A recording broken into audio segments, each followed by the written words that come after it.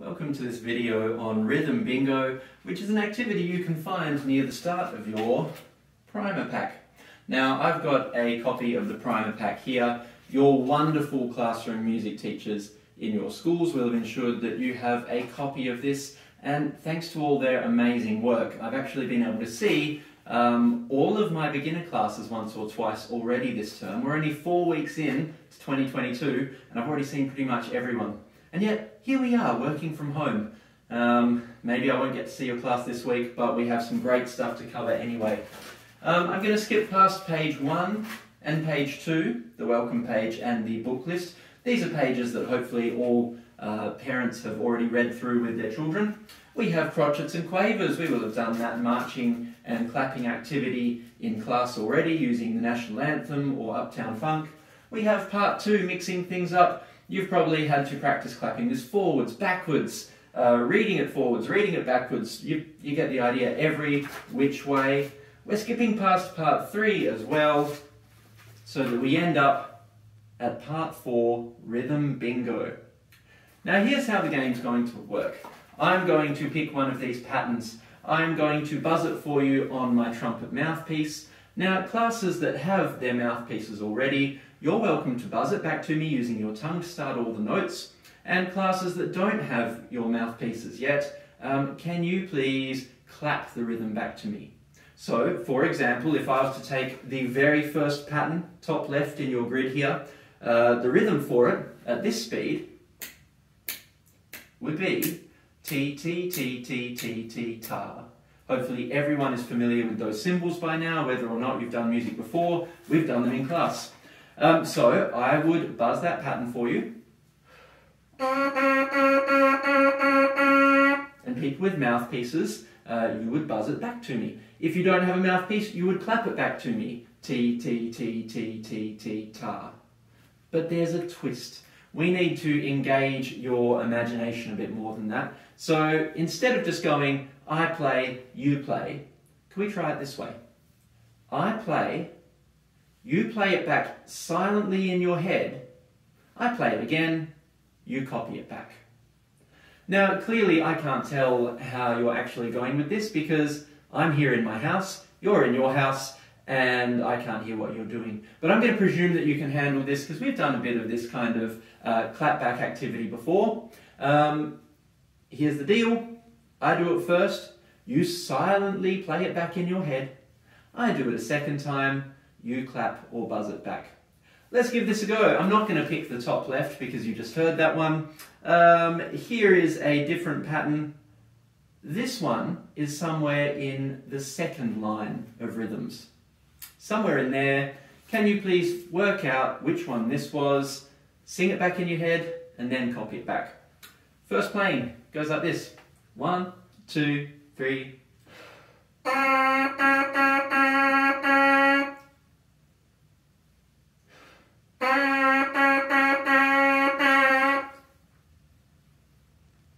And stop.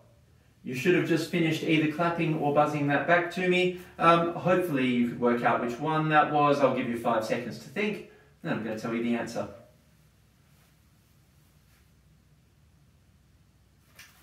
It was in fact row 2, column 2. Ta, ti, ti, ta, ta. Can we try that together? Either clapping or buzzing on your mouthpiece. One, two, together.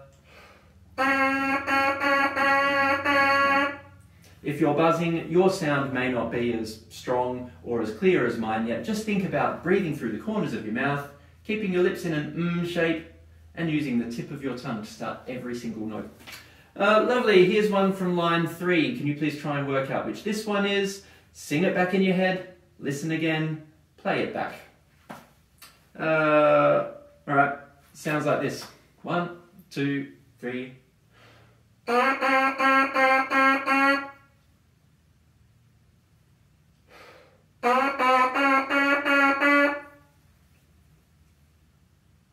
And stop. You should have just finished playing it back. Uh, work out which one that one was. Um, and can you please tick it? I'm not going to tell you the answer. Tick which box you think I was just playing then. As an aside, if you're someone who doesn't actually have a copy of the primer pack yet, maybe it's at school somewhere, um, maybe you haven't had a chance to see your music teacher and they were going to print one for you, you can also find it on my website at musiclessonswithmrtaylor.com. You go across to resources, click.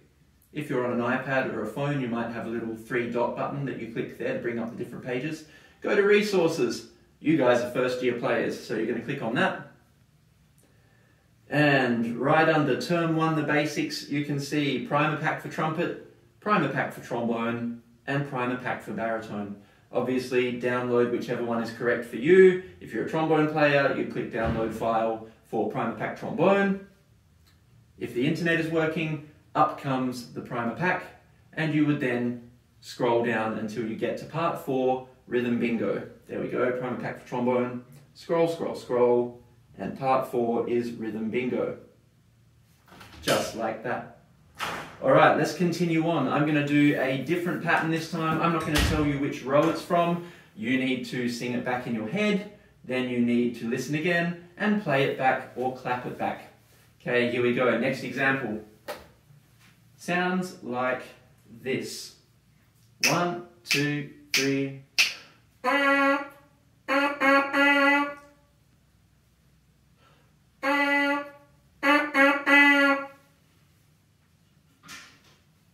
Okay, please find that example. Somewhere in your grid you will see that. Please find it and give it a tick.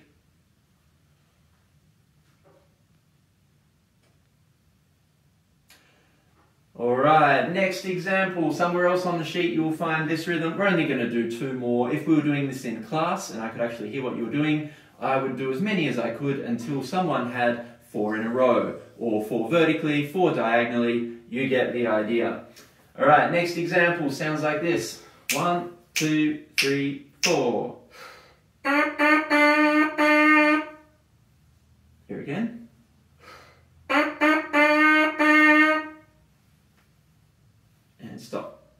There's something a little tricky about this, so I'm going to do that one more time. Here's how it sounds. One, two, three, four. Here it is again.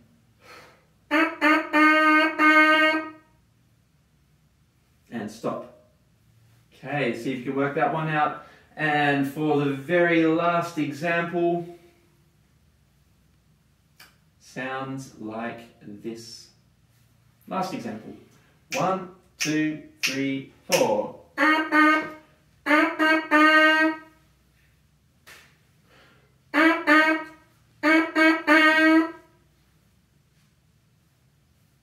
Okay.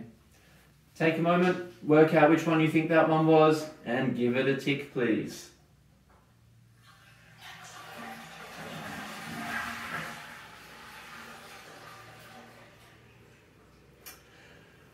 Alright, now here's the funny thing.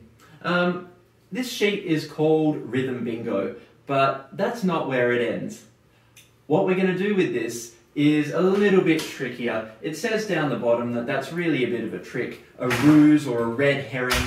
And a red herring is basically like in a mystery story where they set it up so it looks like one person was the culprit, one person was the one who committed the crime, but then it was actually someone else entirely. Yeah, we played rhythm bingo, but that's not the goal. The goal is that you are going to write me a piece of music using eight of these rhythm patterns. So any eight of these, you experiment with them, you find some combinations that you think work well together. Uh, let's say I was to take the last two that we used just then. I think it was, from memory, let's see if I can remember, I think the second last one was row 2, column 1, T, T, T, T, tar. And then let's say I wanted to combine it with the last one I did, rest, T, T, tar, tar. Um, I would experiment with that. Uh, I've got a mouthpiece, so I'll just try buzzing it for you. One, two, three.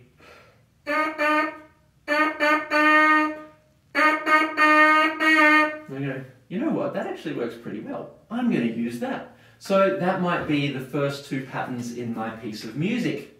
Now, the exciting thing here is that you do not have to use your mouthpiece to perform this for me. You have to complete this at home. You need to put together eight of these patterns in whatever order you like. You're not allowed to just pick ta ta ta ta and do it eight times. That's boring.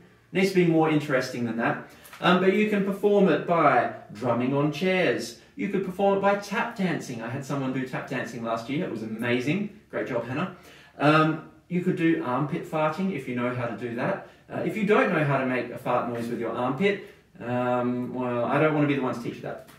Or you could mouthpiece buzz, you could sing it, you could do whatever you like.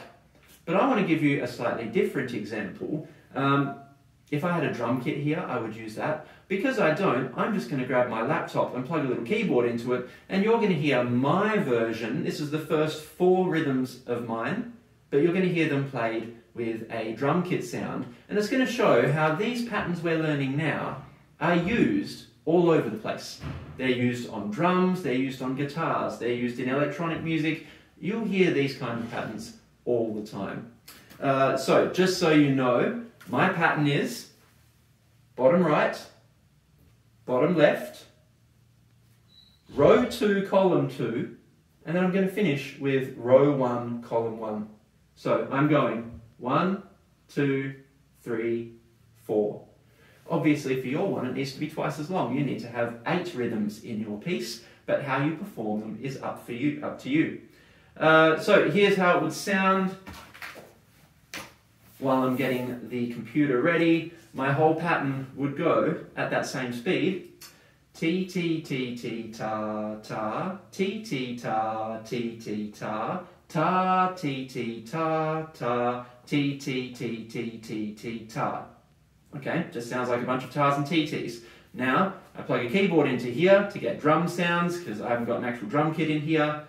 And let's see if it sounds more like music.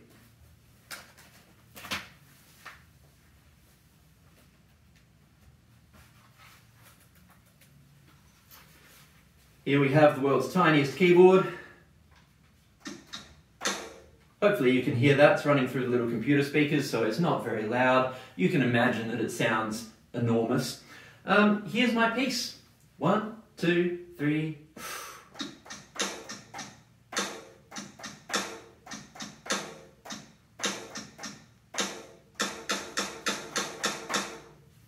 Kind of sounds like drums. Um, and I would love to add in the other drum parts as well. I don't think it's going to work standing up. Uh, let's see, this would just be the first little bit with some other drums there. One, two, same thing again.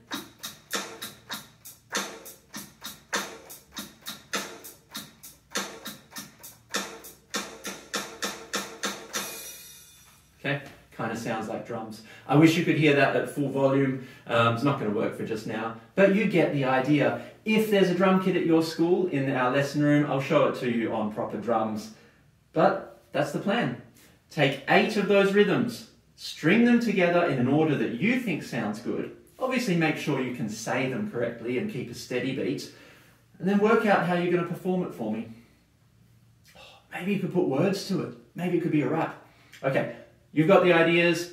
You've seen how it goes. We've played a bit of rhythm bingo. I look forward to playing the full rhythm bingo with your whole class when I can be teaching in schools again. Um, I haven't got COVID, by the way. I'm not COVID positive. It's a household thing. Have a wonderful week. I look forward to hearing your compositions. Bye.